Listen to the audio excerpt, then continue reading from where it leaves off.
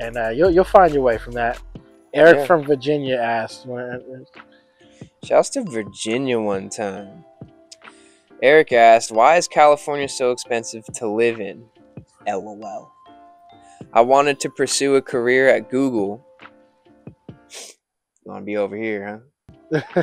okay. All right.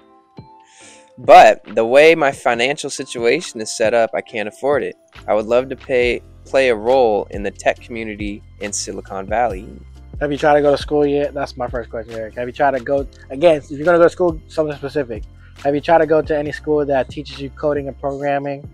Have you tried to um, work for somebody, even if even if it's for free, so you can learn and be a part of the, the uh, business? Because you know the Silicon Valley, you're either going to start off because you have a really good background in education, Right, they want and, and programmers and coding, or you're going to be part of a company that's about to, about to blow up, and it's a startup company. Right. So if you can't, if you don't have the educational background to do that, you got to somehow make your way to California. And when you make your way to California, work a regular job, but make sure in that time period where you're not working, you go find a startup company.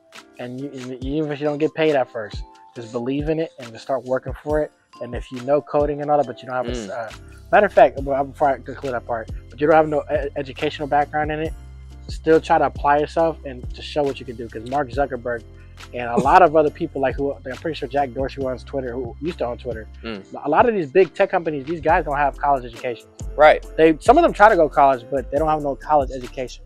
That being said, they don't have no full educational background.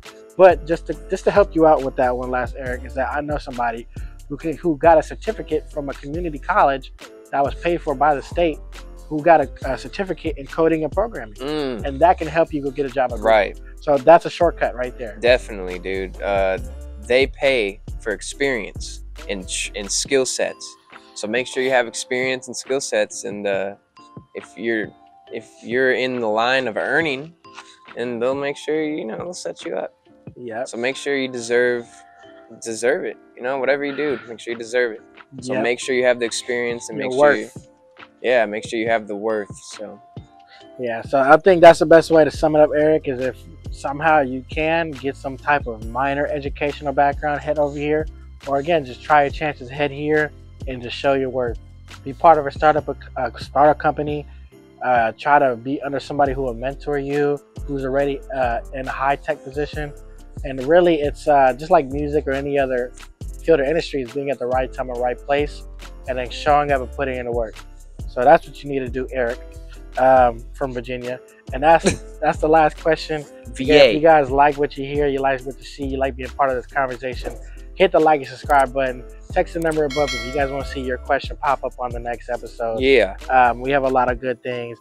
New episodes every Monday and Friday, 6 p.m. Pacific time, 9 a.m. Uh, 9 p.m. Eastern time. 9 a.m. is too early. 9 p.m. Eastern time. and um, and again, send your questions. Hit the like, and subscribe button uh, because we're here to have open conversation without judgment.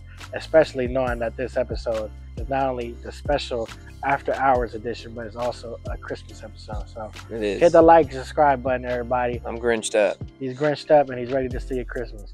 Mm, And you bitch. right, steal your bit. yeah, I was just gonna say. and we'll see you on the next episode. Peace, y'all.